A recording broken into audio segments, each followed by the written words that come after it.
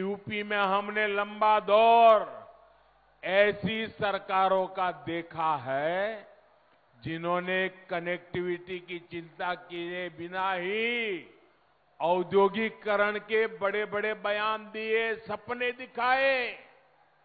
परिणाम ये हुआ कि ज़रूरी सुविधाओं के अभाव में यहाँ लगे अनेक कारखानों में ताले लग गए। इन परिस्थितियों में ये भी दुर्भाग्य रहा कि दिल्ली और लखनऊ दोनों ही स्थानों पर, चाहे लखनऊ हो या दिल्ली, दोनों ही स्थानों पर परिवारवादियों का ही दबदबा रहा।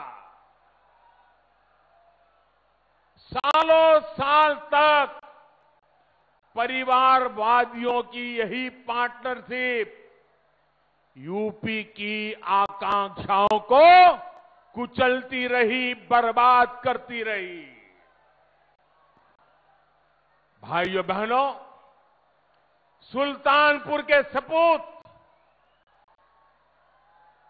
और मैं बड़ी गंभीरता से कहना चाहता हूँ, सुल्तानपुर के सपूत श्रीपति मिश्रा जी के साथ भी तो यही हुआ था।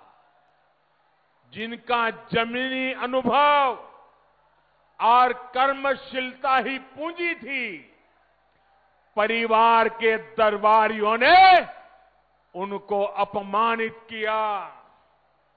ऐसे कर्मयोगियों का अपमान यूपी के लोग कभी नहीं भुला सकते।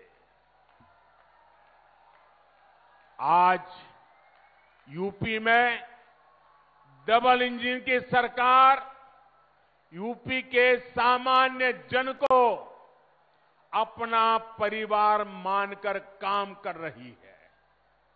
यहाँ जो कारखाने लगे हैं, जो मिले हैं, उनको बेहतर तरीके से चलाने के साथ साथ नए निवेश नए कारखानों के लिए माहौल बनाया जा रहा है। अहम यह भी है कि यूपी में आज सिर्फ़ पाँच साल की योजना नहीं बन रही, बल्कि इस दशक की जरूरतों को ध्यान में रखते हुए वैभवशाली उत्तर प्रदेश के निर्माण के लिए इंफ्रास्ट्रक्चर बनाया जा रहा है। पूर्वी और पश्चिमी डेडिकेटेड फ्रेट कॉरिडोर से उत्तर प्रदेश को पूर्वी समुद्री तट और पश्चिमी समुद्री तट से जोड़ने के पीछे यही सोच है। माल गाड़ियों के लिए बने इन विशेष रास्तों से यूपी के किसानों की उपज और फैक्ट्रियों में बना सामान दुनिया के बाजारों तक पहुँच पाएगा।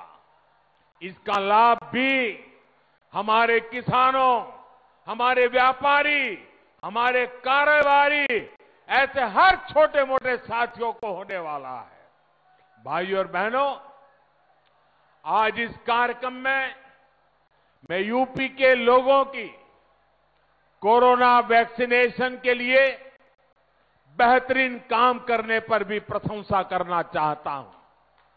यूपी ने 14 करोड़ कोरोना टीके लगाकर अपने राज्य को देश ही नहीं, बल्कि दुनिया में अग्रणी भूमिका में खड़ा किया है। अड़ी, सोमवार से शुक्रवार शाम छह बजे, सिर्फ़ टीवी नाइन भारतवर्ष पर।